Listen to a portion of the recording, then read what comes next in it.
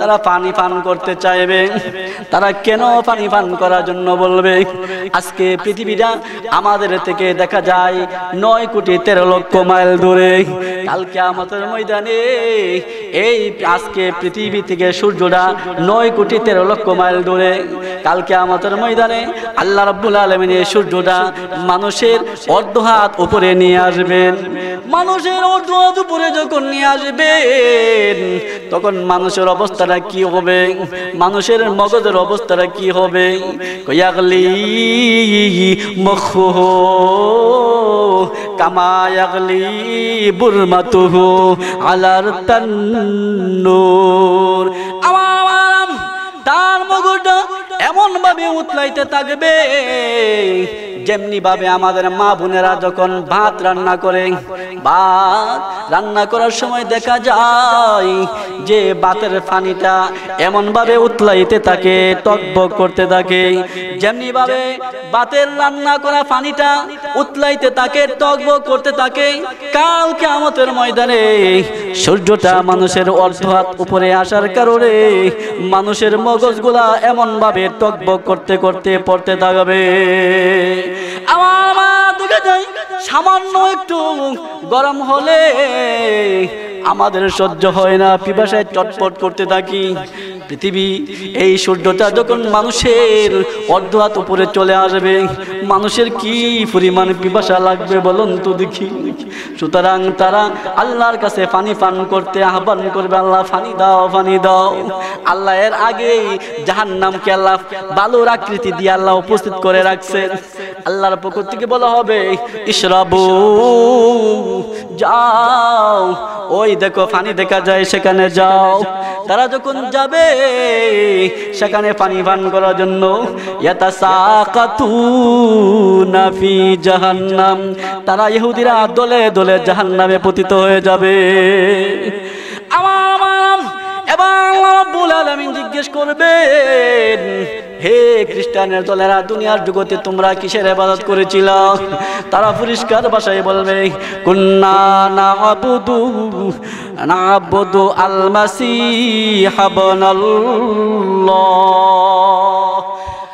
তারা বলবে গো দুনিয়ার জগতের মধ্যে আমরা আপনার সন্তান ঈসা আলাইহিস সালামের ইবাদত করেছি। কারণ খ্রিস্টানরা কার ইবাদত করে? ঈসা আলাইহিস সালাম। ঈসা আলাইহিস সালামকে আল্লাহর পুত্র মনে করে ঠিক কিনা ধরে বলো আর মরিয়মকে বলে হলো মরিয়ম হলো আল্লাহর ঈসা আলাইহিস সালামের মা। আল্লাহর এক বাপ। সুতরাং তারা বলবে, আমরা আপনার সন্তান ঈসা আল ইসলামের আবাদত করেছি। আল্লাহর বকতে বলা হবে কাজাব তুম, তোমরা মিথ্যা বলেছ, এটা গ্রহণযোগ্য হবে না। লামিয়া কুল্লিল্লাহ ইসাহিবাতুন ওয়ালা ওয়ালাতুন আল্লাহর কোনো সঙ্গী নাই, আল্লাহর কোনো সন্তানও নাই। আল্লাহ থেকে বলা হবে, হে খ্রিস্টানের দলেরা, তোমাদের দাবি ভুল হয়ে গেল। তোমরা এখন কি চাও? তারা ওই ইহুদিদের মতো বলবে, আল্লাহ, আমাদেরকে পানি পান করতে দেওয়া হোক। আল্লাহর পুকুর থেকে বলা হবে ইসরাবু যাও, তোমরা পানি পান করতে যাও। তারা যখন ওই যে বালু, জাহান্নাম বালুর আকৃতির চকচক করতেছে, তারা মনে করবে সেখানে পানি আছে, তারা দৌড়াইয়া যাবে পানি পান করার জন্য। তারা যখন যাবে, তারা দলে দলে জাহান্নামের মধ্যে পড়ে যাবে।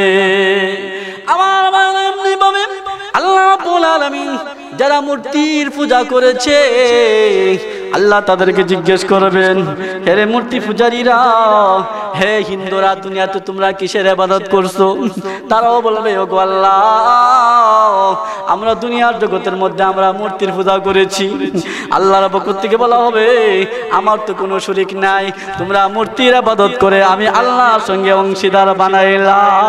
সুতরাং তোমাদের কথা গ্রহণযোগ্য হবে না, তোমরা কি চাও? তারাও ইহুদিদের মতো, খ্রিস্টানদের মতো, তারা বলবে, আল্লাহ ফানি দাও। আল্লাহ বলবেন যাও, পানি পান করতে যাও।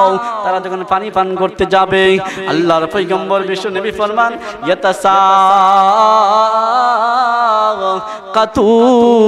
ফি জাহান্নাম। তারা দলে দলে জাহান্নামের মধ্যে পতিত হয়ে যাবে। সুতরাং তারা যে জাহান্নামে যাবে, আল্লাহর কোনো একটু দয়া লাগবে না। আল্লাহর একটু মায়া লাগবে না। কেন আল্লাহর দয়া লাগবে না? কেন আল্লাহর মায়া লাগবে না? কারণ তারা আল্লাহর এবাদত করে নাই, ঠিক কিনা জোরে বলুন?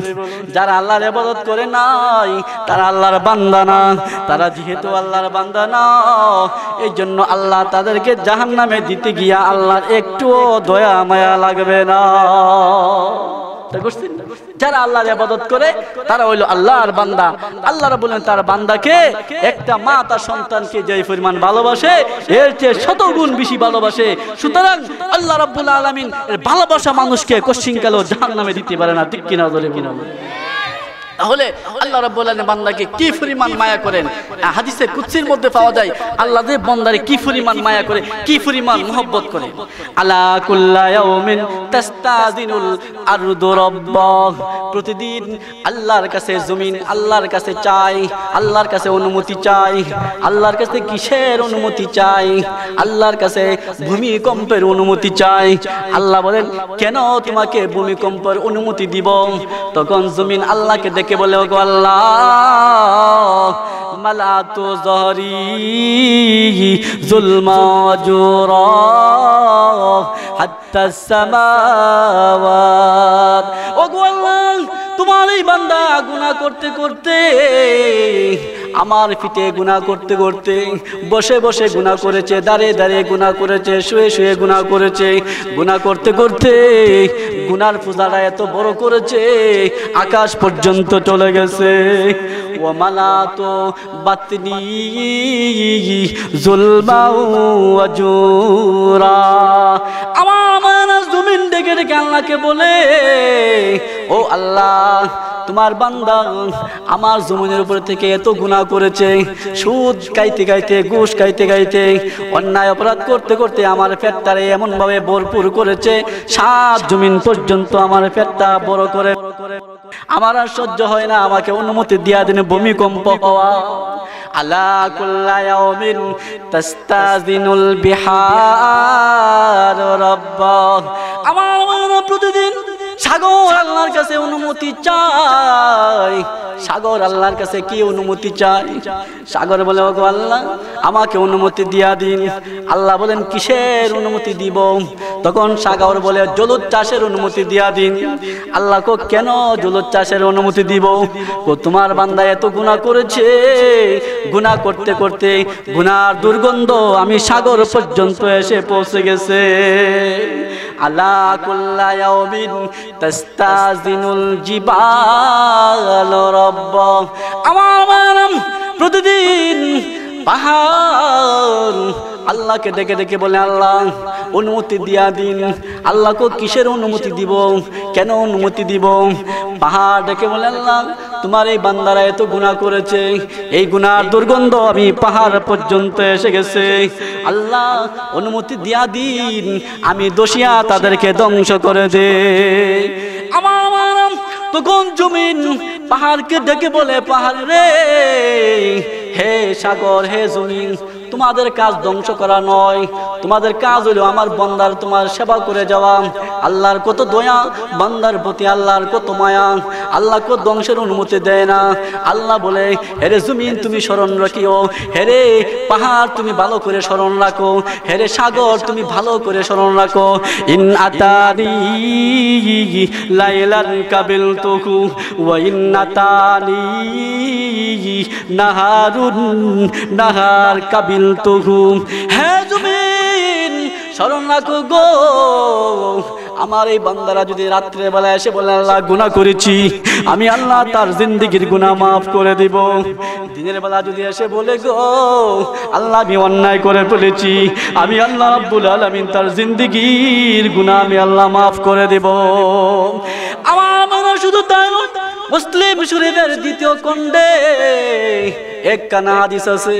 আল্লাহ, পয়গম্বর বিশ্বনবী ফরমান, ইন্নাল্লাহ ইয়াবসুতু ইয়াদাহু বিল্লাইল লিয়াতুবা মাসি নাহার। আল্লাহ রাব্বুল আলামিন রাত্রির বেলা নিজের কুদরতি হাত বিছায়া রাখে। কেন বিছায়া রাখে গো? যেন দিনের গুনাহগাররা আল্লাহর কাছে ক্ষমা যেতে পারে। ওয়ায়াবসুতু ইয়াদাহু বিল্লাইল লিয়াতুবা মাসিউন নাহার আমার দিনের বেলা আল্লাহ রাব্বুল আলামিন নিজের কুদরতি হাতটা আল্লাহ সরায় রাখেন। কেন সরায় রাখেন গো? রাত্রির বেলা অনেকে অনেক গুনাহ করেছে।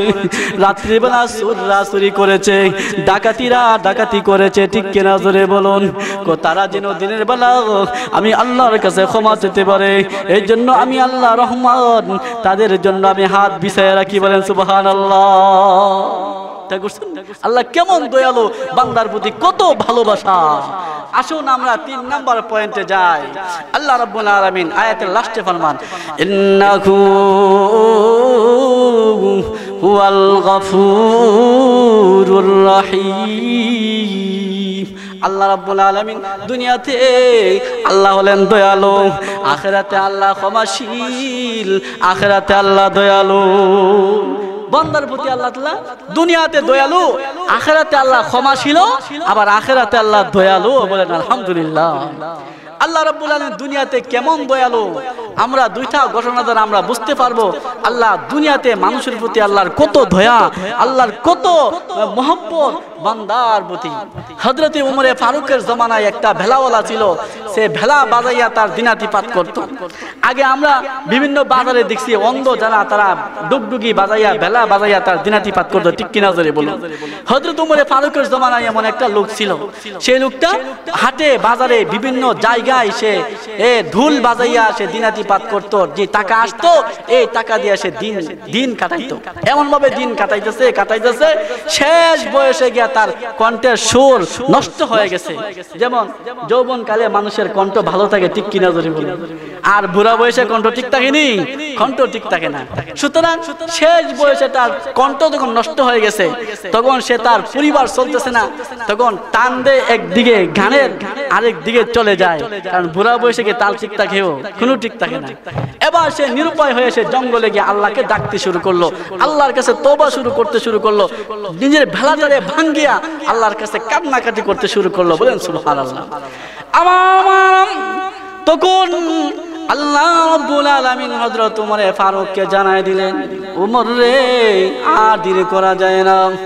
দেখো, ওই বেলাওয়ালা জঙ্গলের মধ্যে বেলা বাইরিয়া বাঙ্গে আর আমি আল্লাহর কাছে ক্ষমা চাই। যাও, তাড়াতাড়ি তুমি তার কাদ্দের ব্যবস্থা করো। হযরত ওমর ফারুক ঘুম থেকে উঠিয়া জঙ্গলে রওনা হয়ে গেলেন। এবার যখন বেলাওয়ালা দেখল উমরে ফারুক আসতেছে, সুতরাং সে জঙ্গল থেকে বাইরে আরও দৌড়াইতে শুরু করল। এবার ভাবতেছে যে উমরে ফারুক সারা জীবন যে গান বাদ্য করেছি, এবার উমরে ফারুক ভালো করে বিচার করবে। এই জন্য জঙ্গল থেকে বাইরে দৌড়ায় আর উমরে ফারুক তাকে ধরার জন্য দৌড়ায় আমার এবার হজরত উমরে ফারুক। ডাক দিয়া বেলাওয়ালারে বলে, বেলাওয়ালা রে, তুমি আর দৌড়াইও না। আমি তোমাকে প্রহার করার জন্য তোমাকে দৌড়াইতেছি না। আমি উমরে ফারুক আল্লাহ জানাই দিছেন তোমার কাদ্যের ব্যবস্থা করার জন্য। আমি তোমার কাদ্যের ব্যবস্থা করার জন্য তোমার সঙ্গে, তোমার কাছে আমি দৌড়াইতেছি। এবার বেলাওয়ালা সঙ্গে সঙ্গে দাঁড়াইয়া চোখের পানি ছেড়ে দিয়া আল্লাহকে ডাকতে শুরু করল, ওগো আল্লাহ, সারা জীবন তোমাকে আহ্বান করিনি। মাত্র একবার তোমাকে আহ্বান করেছি। তুমি আমাকে এমন ভাবে কবুল করেছ যে উমরে ফারুকের মতো মানুষকে আমার পিছনে দৌড়াই আসো।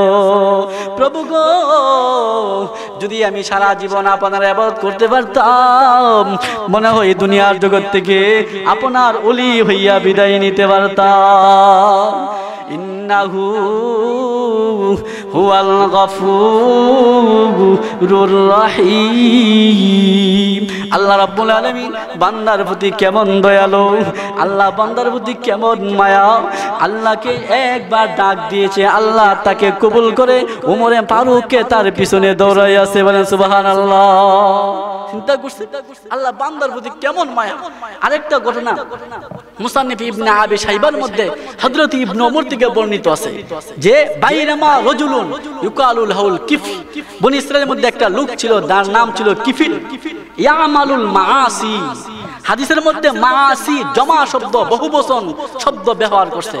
এই কিফিল জীবনে এমন কোনো গুণা নাই যে গুণা সে করে নাই। চুরি থেকে নিয়ে বদমাশি যত প্রকার গুণা হতে পারে, চুরি, ডাকাতি, সব রকমের গুণা করছে।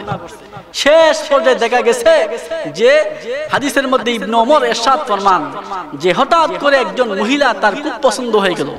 মেয়েটা যখন তার খুব পছন্দ হয়েছে তখন এই মেয়েটারে সে প্রস্তাব দিল যে, আমি তোমাকে অবৈধ কাজের প্রস্তাব দিলাম। মহিলাটা রাজি হচ্ছে না।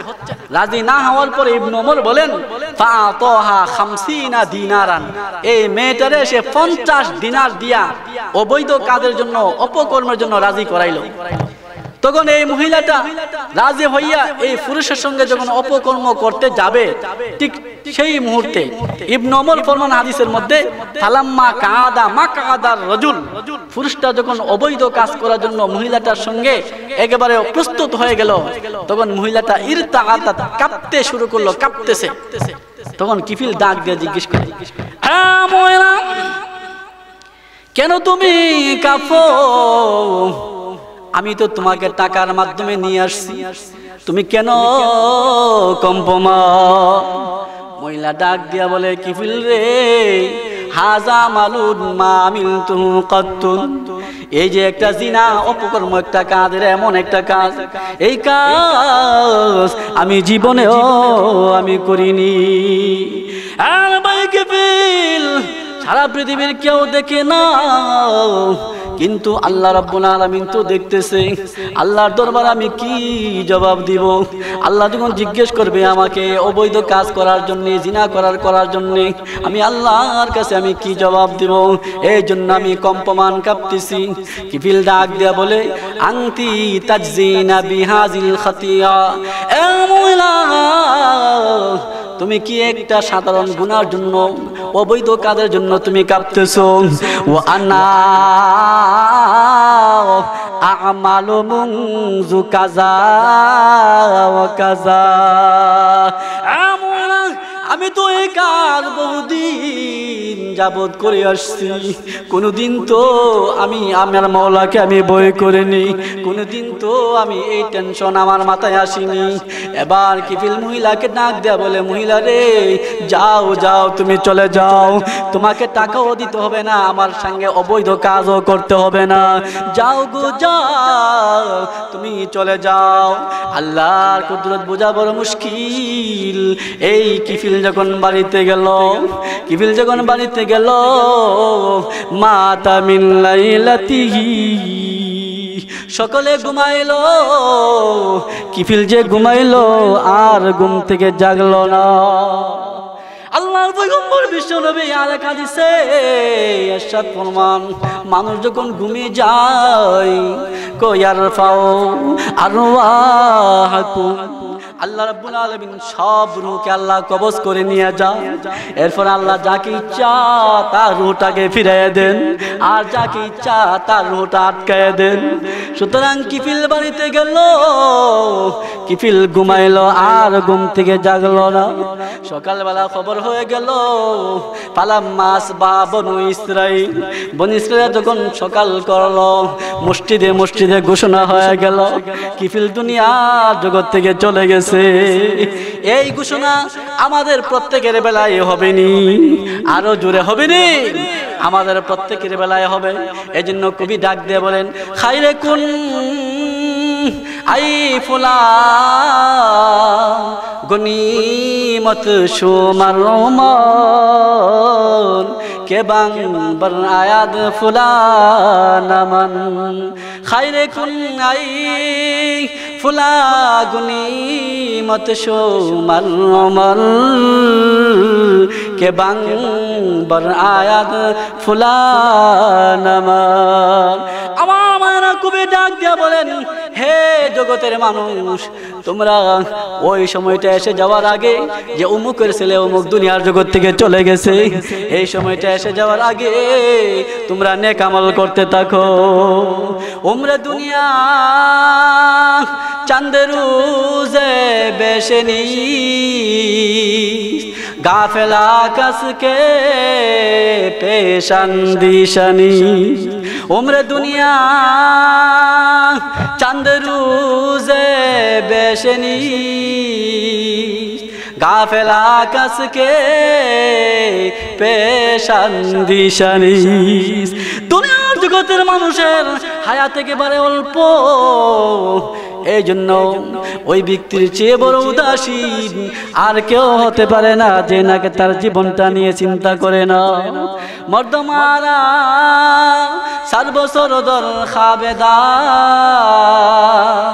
গাছতে বেদারা কেউ রফতাজ জাহা খাকিয়া বার সফর তৈয়ার শু ওক্তের আলো দাম দাজ হুশিয়ার শু খাকিয়া রে সফর তৈয়ার শু ওক্তের আলো দাম দাজ হুশিয়ার শু কল রব গুজর মরদে হাল শু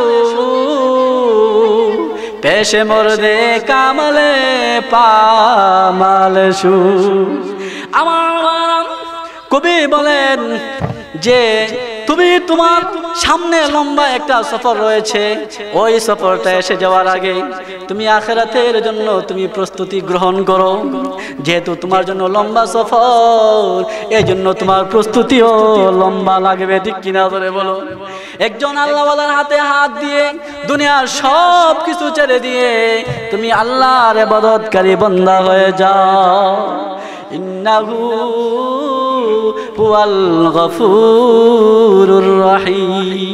আল্লাহ রব্বুল আলম ক্ষমাশীল। আল্লাহ রব্বুল আলমিন দয়ালো।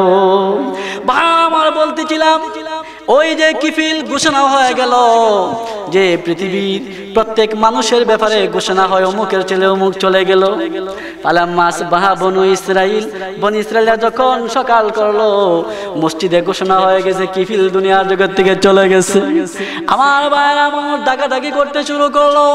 আসো ওই সুরকে দেখে আসি, আসো ওই ডাকাতকে দেখে আসি, আসো ওই বদমাসকে দেখে আসি, আসো ওই সন্ত্রাসকে দেখে আসি। এমন ভাবে প্রত্যেক মানুষ ডাকাডাকি করতে করতে কিফিলের বাড়িতে গেল। পয়লা ইবনে ওমর ইবনে ওমর বলেন, ফাউজিদা মাকতুবান ফি বাবিহি, কদ গফার আল্লাহু লিল কিফলি।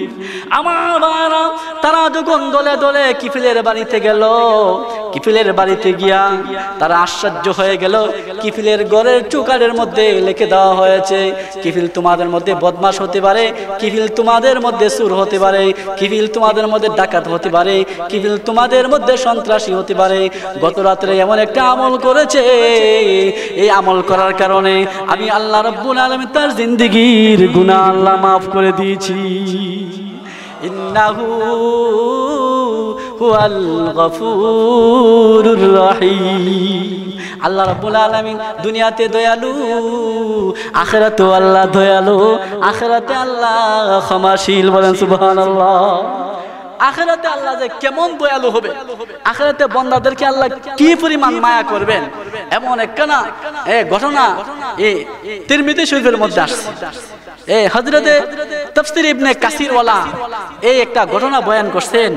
কোথায় থেকে? তিরমিদি শরীফের দুই নাম্বার কন্ড বিরানব্বই পৃষ্ঠা থেকে একখানা হাদিস আনছেন। যে হাদিস কানার মধ্যে হযরত আব্দুল্লাহ ইবনে আমর ইবনে আস বলেন, আমি নবীজিকে আমি কথা বলতে শুনেছি। কি কথা? যে কাল কিয়ামতের ময়দানে যে আমার একজন বান্দাকে আল্লাহ তাআলা maaf করে দিবেন, আমার একজন উম্মতকে, আমার একজন উম্মতকে আল্লাহ maaf করে দিবেন। আমার এই উম্মতকে যে আল্লাহ মাফ করবেন তার সামনে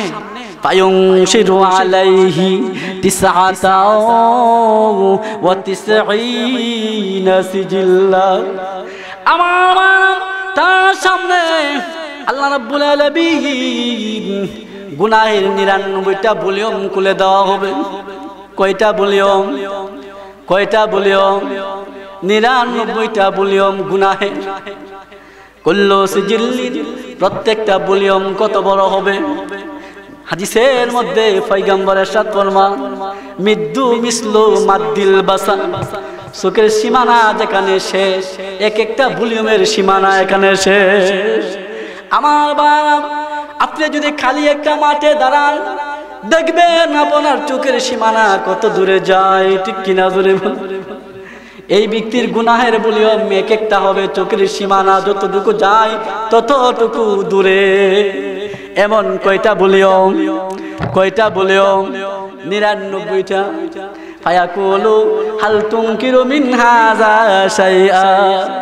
আমার আল্লাহ রাব্বুল তাকে জিজ্ঞেস করবেন, হে হে আমার বান্দা এই যে নিরানব্বইটা বলিও ইহা থেকে তুমি একটা গুণা অস্বীকার করনি। বন্দা বলবে, না গো, না, আমি অস্বীকার করি না। আল্লাহ আবার ডাক দিবেন, আজল আমাকা কাতা বাতাইলাল হাফিজুন।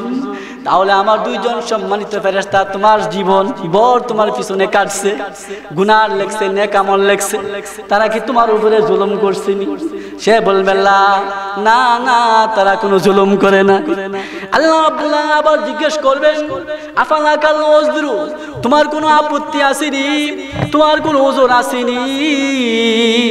সে বলবে কোনো ওজোর নাই, কোনো আপত্তি নাই।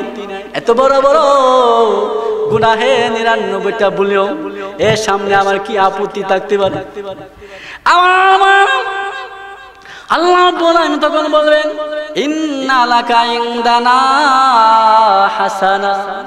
তোমার একটা নেক আমার কাছে আছে। এই নেকটা নিয়ে তুমি তোমার নেকের ফাল্লার মধ্যে তুমি দিয়ে দাও।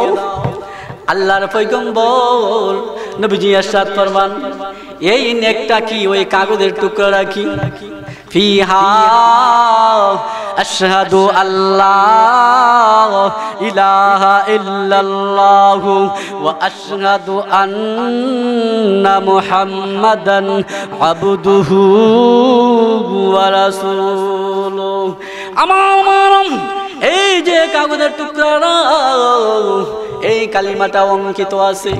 আল্লাহ বলবেন, যাও, এই কাগজের টুকরা তোমার নেকের পাল্লায় গিয়া রাখো। তখন বান্দা বলবে, মা মা হাজিহিল বিতাকা, মা হাজিহি সিজিল্লা। রব্বুল আলামিন, প্রভু গো এই ছোট্ট কাগজ কি হবে? এই নিরানব্বইটা বড় বড় বলিও এর মোকাবেলায় ছোট্ট কাগজ কানা কি হতে পারে? আল্লাহ বলবেন, বন্দারে, আজকে তোমার উপরে কোনো জুলুম করা হবে না। যা তোমার নেকের পাল্লায় গায়ে কাগজটা রাখো।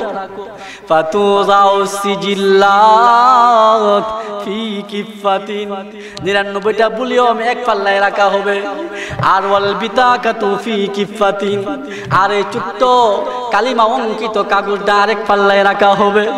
নবীজি হাদিসে এরশাদ ফরমান, ফাতশাতি সিজিল্লাত।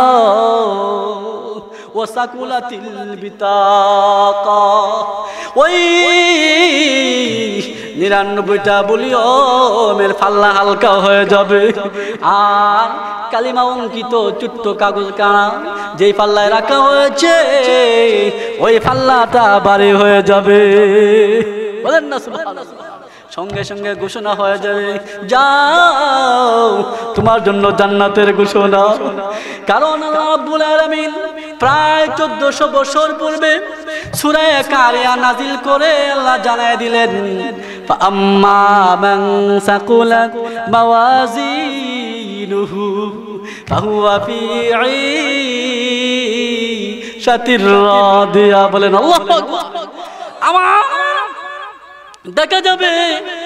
এই আল্লাহ রাব্বুল আলামিন ارشاد ফরমান যে আল্লাহ রাব্বুল আলামিন জানাই দিছে সারা পৃথিবীর মানুষদেরকে।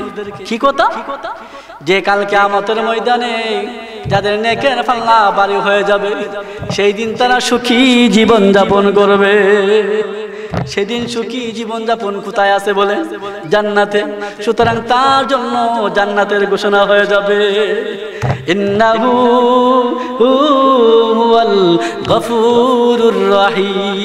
আল্লাহ রব্বুল আলামিন আখরাতে আল্লাহ ক্ষমাশীল, আখরাতে আল্লাহ দয়ালু। তা আল্লাহ আখরাতে কেমন দয়ালু? আল্লাহ বান্দার প্রতি কত দয়া, কত মায়া। তিরমি, মুসলিম শরীফের আরেক কানা হাদিস আনছেন নবীজি। ইউতার রাজুল ইয়াউমাল কিয়ামা। কাল কিয়ামতের ময়দানে একজন বান্দাকে আল্লাহর সামনে উপস্থিত করা হবে। আল্লাহ রাব্বুল আলামিন বলবেন ফেরেশতাদেরকে আরিজু আলাইহি সিগারা জুনুবি তার সামনে তার সমস্ত সুগিরা গুনাহ তার সামনে পেশ করো। সুগিরা সব গুণাগুলা তার সামনে পেশ করা হবে। সুগিরা গুণা লিখলে তাকাইয়া তাকাইয়া বন্দা বলবে, আহারে, আমার জন্য মনে হয় জাহান্নাম ছাড়া উপায় নেই। আল্লাহ আবার বলে দিবেন, ওই নাহানহা কিবারুহা তার বড় বড় কুবিরা গুনাগুলা তারা দেখাইও না। এবং আল্লাহ ঘোষণা দিবেন, এ বেরেস্তারা রে আমার এই বন্দার সব সুগিরা গুনাগুলারে নেক দিয়া পরিবর্তন করে দাও। আমার এবার দেখা যাবে, তার সমস্ত সুগিরা গুনাগুলাকে আল্লাহ নেক দিয়ে আল্লাহ পরিবর্তন করে দিবে। নেক দিয়া পরিবর্তন করে দেওয়ার পরে এই ব্যক্তি বলবেন, দেখাও আমার আমল নামাটা আবার দেখাও। আমল নামা আবার হাতি নিয়ে বলবে, ওগো আল্লাহ, ইন্নালি জাম্মাল্লাম আরও আমার তো আরও বড় বড় কবিরা গুনাগুলা আছে গুনাগুলা গুথা। নবীজি হাদিস যখন বয়ান করতেছিলেন, পা দহিকা, নবীজি হেসে ফেললেন। নবীজি হাসা দিছে, এতক্ষণ সুগিরা গুনা দিকে বলতেছে যেমন হয় হ্যাঁ আমার জন্য হালাকি, এখন কুবিরা গুনা তে তালাশ করে। আল্লাহ বলবেন, তার কবিরা গুনাগুলো নেক দিয়া ফ্রি বর্তন করে দেওয়া বলেন সুবহানাল্লাহ। ইন্নাহু হুয়াল গফুরুর রহিম। আল্লাহ রাব্বুল আলামিন গফুর। আল্লাহ রাব্বুল আলামিন হলেন রহিম। আল্লাহ রব্বুল আলম এত দয়ালু কেন? আল্লাহ এত রহিম কেন? এর কারণটা হলো যে এত রহস্য কোথায়? আল্লাহ বন্দার প্রতি এত দয়া, এত মায়া। হাদিসের তর্জমা আমি বলে দেই যে মুস্তানবী ইবনে সাইবার 18 নম্বর খণ্ডের মধ্যে হাদিস কেন আনছেন? যে বন্দার প্রতি আল্লাহর কেন এত দয়া, কেন এত মায়া? عن ابي سعيد قال ان الله خلق يوم خلق السماوات والارض আমার আল্লাহ রাব্বুল আলামিন যখন আকাশ আর জমিন সৃষ্টি করেছিলেন তখন আল্লাহ রাব্বুল আলামিন একশত রহমত আল্লাহ সৃষ্টি করলেন এক একটা রহমত কত বড় মা বাইনা সামাওয়াতি ওয়াল আরদ আকাশ আর জমিনের মধ্যে ফাঁকা জায়গাটা যত বড় শত রহমত, প্রত্যেকটা রহমত তত বড় বলেন সুবাহান আকাশ আর জমিনের ফাঁকা জায়গা কত বড়? আকাশ আর জমিনের ফাঁকা জায়গা কত বড়? বৈজ্ঞানিকরা আবিষ্কার করছে, পৃথিবী থেকে সবচেয়ে দূরে যে একটা তারকা আছে, তার নাম কুয়াশা। এই কুয়াশার তারকাটা কাছে যেতে কতটুকু সময় লাগবে? এক হাজার কোটি আলো, এক হাজার কোটি বছর সময় লাগবে। কত বছর? এক হাজার কোটি বছর সময় লাগবে ওই তারকার কাছে যাইতে। তাহলে বুঝেন পৃথিবী থেকে এই খালি জায়গাটা কত বড়। আল্লাহর প্রত্যেকটা রহমত হলো তত বড় বলেন সুবাহান আল্লাহ ফাজালা মিনহা রহমাতান বাইনাল খালাইকি আল্লাহ রাব্বুল আলামিন 100 রহমত থেকে একটা রহমত সারা পৃথিবীর মধ্যে বন্টন করে দিলেন। বন্টন করে দেওয়ার পরে ফাবিহা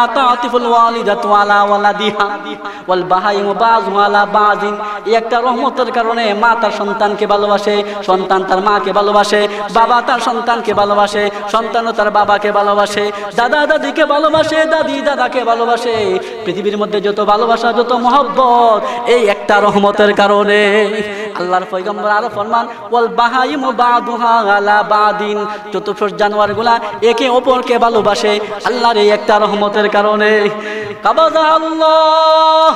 যখন কেয়ামতের সময় এসে যাবে আল্লাহ রাব্বুল আলামিন রহমতটা সমস্ত মানুষদের থেকে চিনিয়ে নেবেন সমস্ত মানুষ থেকে এই রহমতটা যখন চিনিয়ে নেবেন তখন মানুষের কি অবস্থা হবে আল্লাহ রাব্বুল আলামিন সূরা আবাসার মধ্যে ارشاد ফরমান ইয়াউমা ইয়াফিরুল মারউ মিন আখি ওয়া সাহিবাতিহি ওয়া বানি আল্লাহ রব্বুল আলমী যখন এই নিয়ামতটা যখন, এই রহমতটা যখন চিনিয়ে নেবেন, দেখা যাবে যে ভাই ভাই থেকে পলায়ন করবে, সন্তান তার মাতা পিতা থেকে পলায়ন করবে আরও দেখা যাবে স্বামী স্ত্রী থেকে পলায়ন করবে।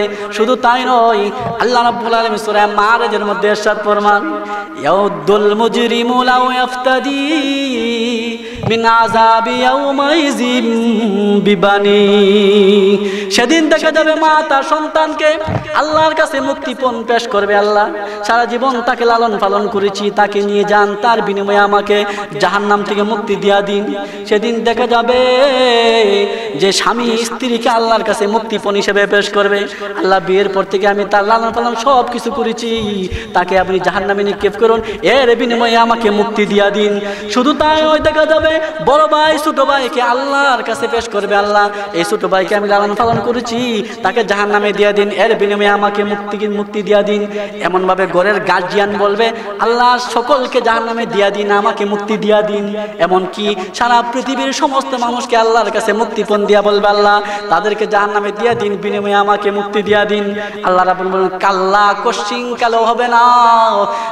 তাজিরু ওয়াজিরাতুন বিজরা উখরা সেই দিন পাপের বোঝা একজনের পাপের বোঝা আরেকজন বহন করবে না। মাতা পিতার অন্যের কারণে সন্তানকে জাহান নামে দেওয়া হবে না। স্বামী স্ত্রীর, স্বামীর অন্যের কারণে স্ত্রীকে জাহান নামে দেওয়া হবে না। বড় ভাইয়ের অপরাধের কারণে ছোট ভাইকে জাহান নামে দেওয়া হবে না। সেই দিন প্রত্যেকেই নিজ নিজের পাপের বোঝা বহন করবে। এই জন্য কবি বলেন, কুয়তে নে কি না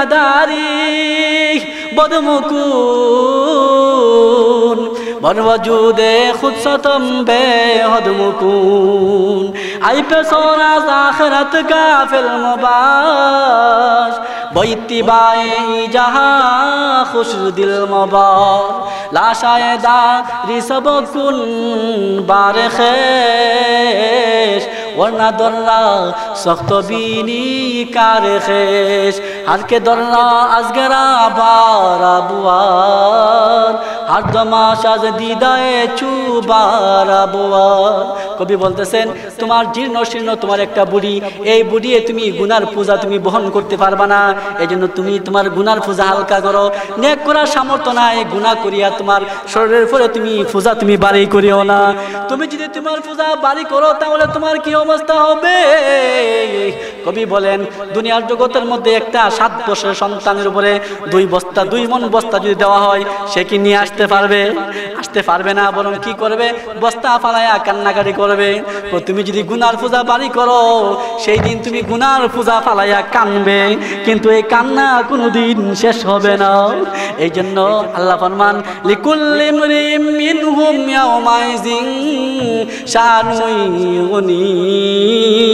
সেদিন প্রত্যেকেই নিজ নিজ অবস্থা নিয়ে ব্যস্ত থাকবে।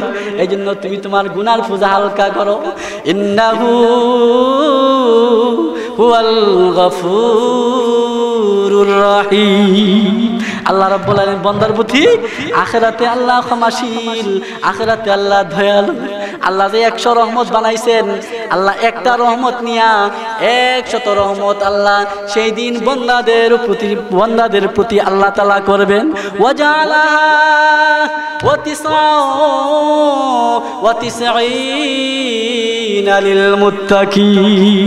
আল্লাহ রাব্বুল আলামিন এই একশত রহমত বন্দার উপরে করবেন। বলেন সুবাহ আল্লাহ আল্লাহ তাআলা আমাদেরকে কথাগুলোর পরে আমল করার জন্য তৌফিক দান করো ও আখরি দাওয়ান আলহামদুলিল্লাহ